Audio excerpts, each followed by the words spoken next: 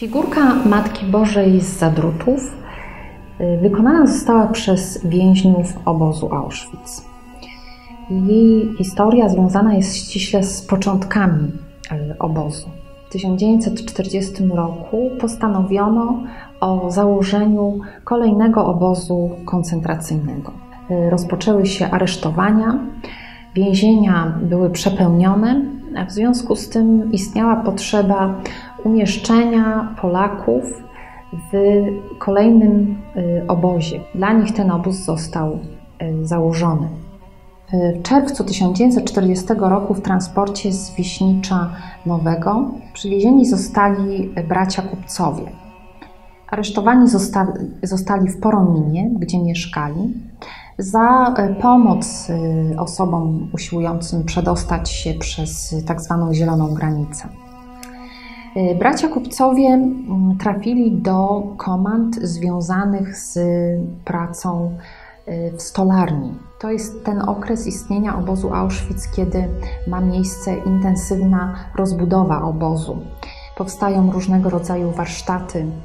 Więźniowie budują y, część bloków, nadbudowują piętra, budują ogrodzenie w związku z tym tego rodzaju y, produkcja, tego rodzaju praca była bardzo potrzebna. Y, bracia kupcowie posiadają zresztą wykształcenie, kwalifikacje. Y, Antoni był absolwentem Państwowej Szkoły Sztuk Zdobniczych i Przemysłu Artystycznego w Krakowie. Bolesław Kupiec był absolwentem Państwowej Szkoły Przemysłu Drzewnego w Zakopanem. Z grupy stolarzy bardzo szybko wykształciła się grupa rzeźbiarzy, czyli tych, którzy potrafili wykonywać y, przedmioty o wartości artystycznej. Y, więźniowie wykonywali różnego rodzaju przedmioty, najczęściej na zamówienie y, załogi obozowej. Miały one charakter ozdobny, ale nie tylko, również mnóstwo przedmiotów o charakterze użytkowym. Bardzo szybko zawiązał się Komitet Pomocy Więźniom obozów, na czele którego stanął y, ksiądz proboszcz y, miejscowej parafii Jan Skarbek. Y, włączył się bardzo aktywnie w tą pracę wikary ksiądz Władysław de Rosenburg-Gross. I właśnie z ich inicjatywy rozpoczęto dostarczanie więźniom różnego rodzaju pomocy. W pomoc więźniom włączeni byli mieszkańcy w różnym wieku. Między innymi była grupa uczennic z tutejszego gimnazjum, które któregoś dnia poprosiły księdza e, wikarego Grossa o obrazek Matki Bożej e, niepokalanie poczętej.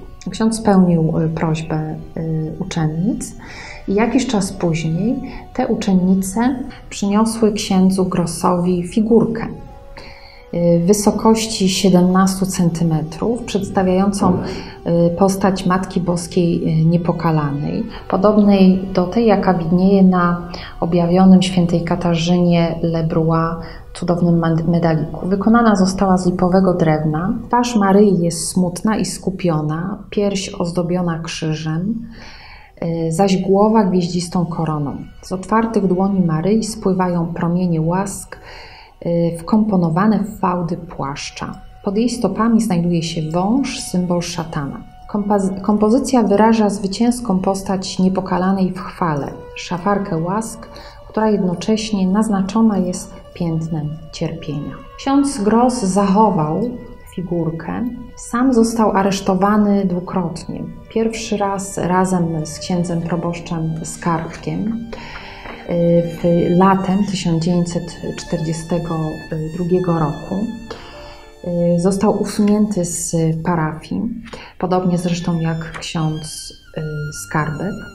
Drugi raz w 1944 roku, kiedy został umieszczony w podziemi, y, podziemiach bloku 11. Y, Bracia kupcowie y, pozostawali w obozie w związku ze śledztwem prowadzonym przez Gestapo w Zakopanym. Śledztwo dotyczyło konspiracji.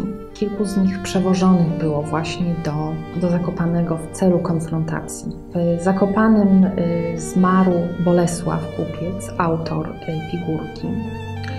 Zginął również y, Jan Kupiec. Do Poronina wróciło tylko trzech braci: Antoni, Władysław i Jan. Właśnie Władysław Kupiec przez lata powojenne poszukiwał informacji na temat przedmiotów, które zostały wykonane w obozie. I szczególnie interesowało go, co się stało z piękną figurką wykonaną właśnie przez brata y, Bolesława. W latach 70 Y, grupa historyków szukała informacji na temat Stefana Jasińskiego. Cichociemny skoczek spadochronowy, który był y, przetrzymywany w podziemiach y, bloku 11 w tym samym czasie, kiedy był tam osadzony ksiądz Władysław Gross. I właśnie z tego powodu doszło do spotkania w 73 roku w Wieliczce właśnie w parafii, gdzie wówczas pracował y, ksiądz Gross. Podczas tego spotkania ksiądz Gross y, opowiedział o figurce, którą ma z okresu, kiedy był wikarem w parafii y, w Oświęcimiu, wówczas Auschwitz. Ta informacja bardzo zaciekawiła zebranych i doszło do y, bardzo ciekawego spotkania, podczas którego obecny był również Władysław Kupiec. Y, wiedział, że w figurce znajduje się mały kołeczek, pod którym znajduje się otwór, i w tymże otworze umieszczona jest wiadomość jesienią 1941 roku podczas tego spotkania otworzył figurkę, wydobył wiadomość i przeczytał, co było napisane. Prosimy o pomoc dla naszych rodziców, którzy zostali bez opieki, gdyż sześciu synów jest zamkniętych od 16 stycznia 1940 roku. Tę figurkę wykonał jeden z tych synów. Adres Kupcowie, Poronin, obok Zakopanego, ulica Kasprowicza 7. Na odwrocie było napisane: Tę karteczkę powierzam opiece Matki Bożej i niech nas nadal ma w swej opiece. Władysław Kupiec z wielkim wzruszeniem y, przeczytał y, te informacje y, i też z takim wspomnieniem braci, szczególnie trzech braci, którzy w obozie zginęli. Figurka była własnością księdza Władysława Grossa. Y, zdecydował on, że mm, ma być przekazana Franciszkanom, którzy właśnie w Harmężach, tuż pod Oświęcimiem, y, prowadzili klasztor i szczególnie zaangażowani byli w pamięć o świętym Maksymilianie. W takich okolicznościach, właśnie w bocznym ołtarzu kościoła y, w Harmężach, przygotowana została y, specjalna, y, specjalne miejsce i tam ta oryginalna figurka dzisiaj się znajduje.